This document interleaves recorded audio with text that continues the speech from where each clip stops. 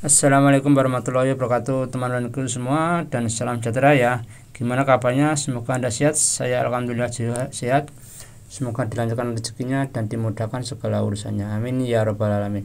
Dalam video kali ini saya akan mencuci yaitu Bantalnya kursi atau sofa ya Seperti ini.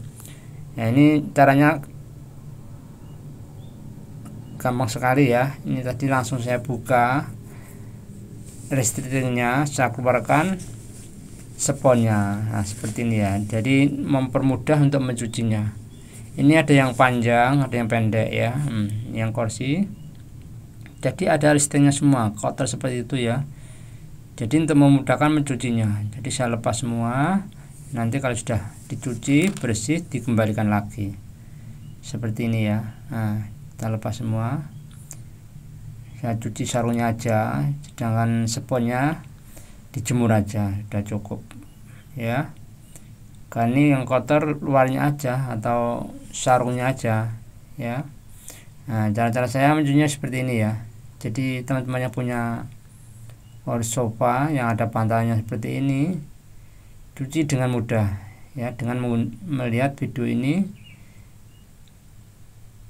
jadi mencucinya lebih gampang dan gak usah bingung lagi ya. Ini saya keluarkan semua ya.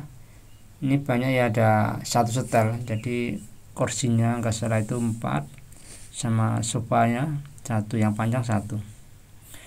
Itu ada noda merah itu ya. Itu enggak tahu ini noda darah apa noda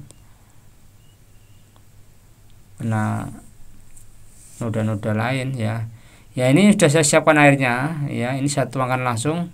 Saya menggunakan sab deterjen ini ya deterjen saset. Ya ini lebih mudah cara memakainya ya. Jadi enggak kebanyakan enggak kurang. Jadi satu saset cukup. Kalau cuciannya sedikit separuh aja sudah cukup. Jadi lebih gampang kan lebih praktis. Ya ini ya. Langsung saya tuangkan saya aduk-aduk.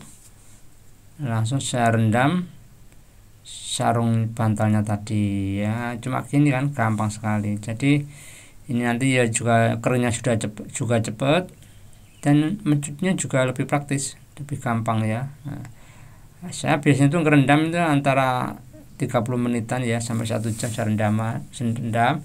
Sudah itu nanti akan saya spotting karena ini bahan kainnya itu tebal ya. Jadi kalau nggak saya spotting kurang bersih ya nah, seperti ini ya.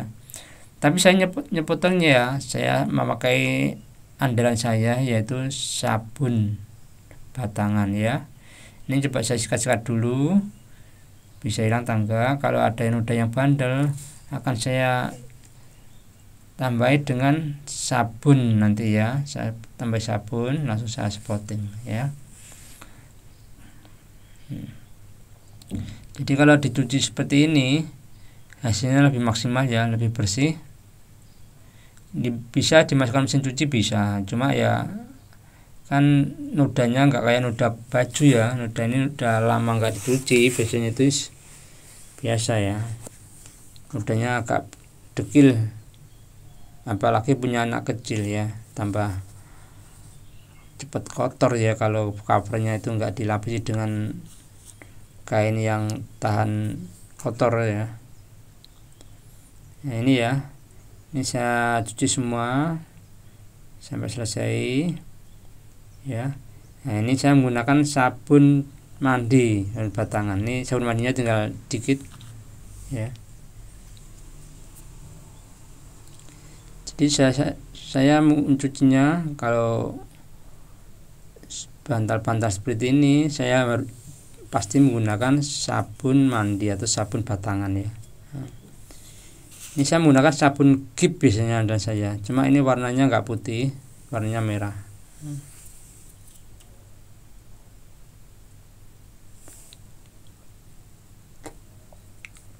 Ini sabunnya tinggal sedikit ya. Sebenarnya ini lebih bagus itu ya digelar itu di listeran apa di siapa langsung disikat ya. Nah seperti itu ya kotorannya banyak hmm.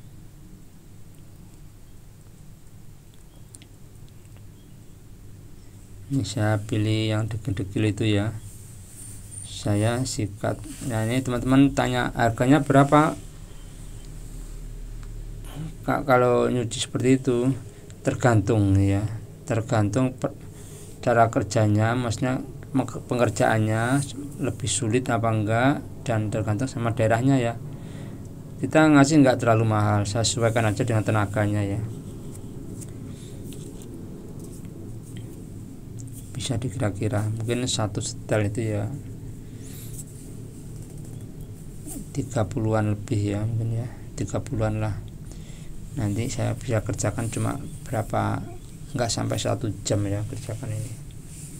Jadi disesuaikan aja dengan tenaga yang dipakai. Ya.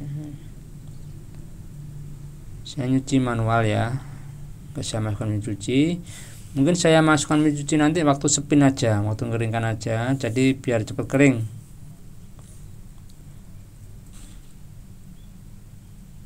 Kalau dicuci sama sponnya itu agak sulit ya. Agak sulit. Toh ini ada resistingnya jadi bukanya gampang ya kalau bantal guling hati-hati kalau nggak ada apa restingnya nggak bisa dikeluarkan dakornya. Itu jemurnya agak lama ya meskipun dimasukkan mesin cuci.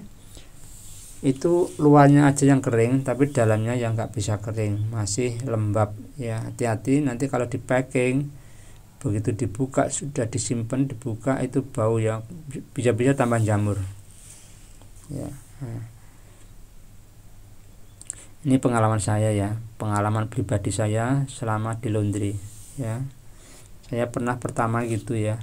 Saya kira satu hari kering.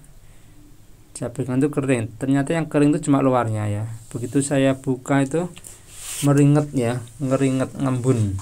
Ngembun ya. Nah kalau ngembun itu nanti nanti akan timbul jamur ya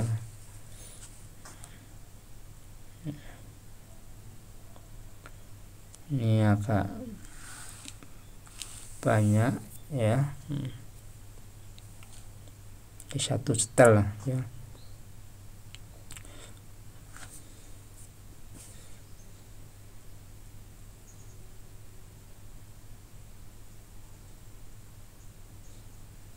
Ini airnya seperti itu ya. Nanti sudah saya spotting gini langsung saya bilas-bilas ya. Tinggal jemur aja ya.